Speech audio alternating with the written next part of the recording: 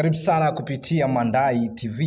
Jina naitwa Sigifridi Kiawike, sehemu pekee hapa unaweza kupata update zote ambazo zinakuwa zinashangaza ulimwengu kwa kina zaidi. Hizi ni fakti za maana sana kutokea hapa Bongo na nje ya mipaka ya Tanzania kupitia hapa Mandai TV. Naye kusogezea kila siku hizi fakti ni mimi Sigifridi Kiawike. So unaambiwa kutunza akiba ni kitu muhimu sana. Sasa mtu akiwa anatunza akiba, basi kunakuwa kuna mambo mengi, na akiba ili iwe akiba inatakiwa iwe siri. Hapa tunazungumza kwamba ukishapata mshahara mambo mengine yanakuwa kama hivyo, yani kwamba tayari akiba yako kiweka, maanake inakuwa asili yako. So katika nchi ya Norway sasa hilo jambo limekuwa ni tofauti zaidi. Unaambiwa kwamba nchini Norway hakuna ambaye anaweza kuficha siri ya kipato chake, kwa sababu kila raia kipato chake au fedha anaingiza kwa mwaka huwekwa hadharani na kila mtu anaweza kupitia na kuona.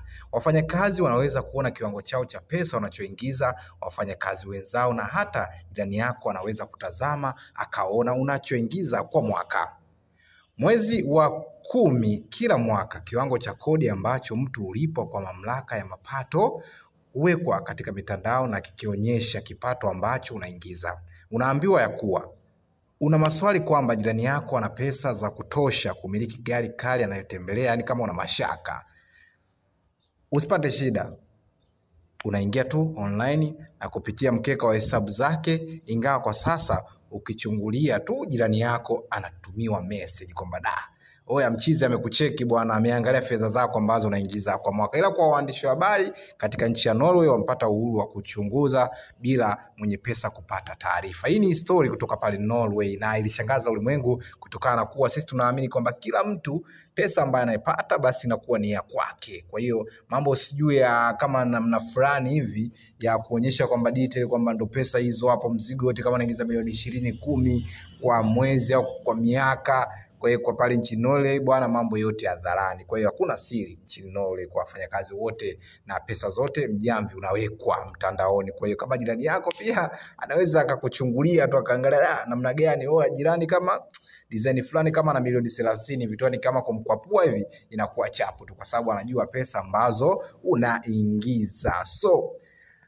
Upendo ni kitu kikubwa sana na upendo ujenga, na unaambiwa kwamba kwenye upendo basi amani iwepo na inakuwepo kwa akina sana. Sasa hii ni habari ya pili ambacho pia imeshangaza sana ulimwengu, inatoka katika jiji la Tokyo. So mambo ni mengi sana. Sisi tunaambiwa kwamba hapa hata Tanzania hapa kwamba inaonekana kuna wasanii fulani wana upendo. Hata tunazungumzia Wema Sepetu pia alikuwa na upendo wake sana baada ya mbwa wake Manu Manu kupotea. Sasa kama unakumbuka sekeseke la Wema mpaka inatokea situation kwamba anaenda na mbwa wake kwenye birthday ya Gigimani, umeona vitu kama hivyo. Sasa kwa nchi au jiji la Tokyo mambo midogo yako vizuri zaidi kwenye upendo. Unaambiwa Mitani, huyu jamaa anaitwa Mitani mwenye umri wa miaka sitini na mbili amekuwa kivutio cha wengi Japan kutokana na upendo wake alioonyesha kwa kobe wake ambaye anatembea naye mpaka kwenye mitaa ya jiji la Tokyo pamoja anampenda sana na anaenda naye popote kule. So huyu ni kobe ambaye yeye anazurula naye, kwa hiyo kuzurula naye kwa kila siku, tuseme katika mitaa yote au sehemu yote ambayo yeye anatoka, basi anatoka na huyo kobe. Upendo ulioje! Huyu jamaa anaitwa Mitani. Sasa upendo ulioje, na inatoka histori kutoka Japan, na nimekusogezea hapa kutoka kwenye fact ya Mandai TV. Lakini habari ya tatu ambayo inakamilisha the fact kwa siku ya leo ni kumuhusiana na kesi William Kell Huyu ana miaka arobaini na mbili kutoka Florida. Alinunua gari la kifahari kwa USD dola laki moja na elfu arobaini ni sawa na shilingi milioni mia tatu ishirini na nne pointi sita kwa kutumia cheki feki ambayo aliiprinti kwenye kompyuta nyumbani kwake. Baada yake alitaka kujaribu tena, kwa sababu bwana, kama mtu ushazoea wizi, basi unajaribu tena. Basi akaenda kwenye sehemu ya kununua saa ambazo zinaitwa Rolex. Pia katika hizo saa alitaka kununua saa tatu, saa hizo ambazo jumla zilikuwa ni sawa na thamani ya dola sitini na mbili elfu. Kwa Tanzania au kibongobongo ni zaidi ya milioni mia moja na arobaini na tatu pointi saba kutumia cheki hiyo hiyo au nyingine feki baada ya kuiprinti. Kwenye nini kwenye kompyuta yake. So jamaa alidakwa.